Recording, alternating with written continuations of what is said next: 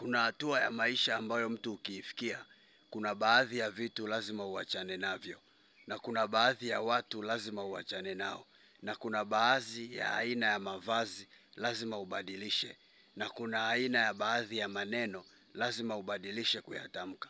Hiyo ni kwa sababu ya hatua unayokuwa umeifikia. Kuna wakati unaweza ukajikuta tu ndani yako haujisikii tena kuwa na urafiki na aina ya marafiki zako wa zamani uliokuwa nao.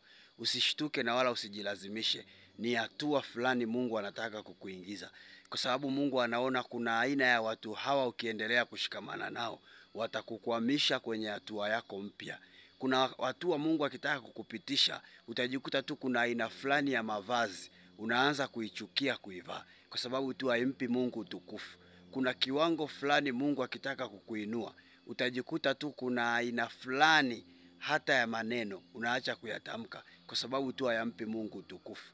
Na ndio maana lazima ujifunze kuongea kuhusiana na watu, kuvaa kwa kutokana na maisha Mungu aliyokupa.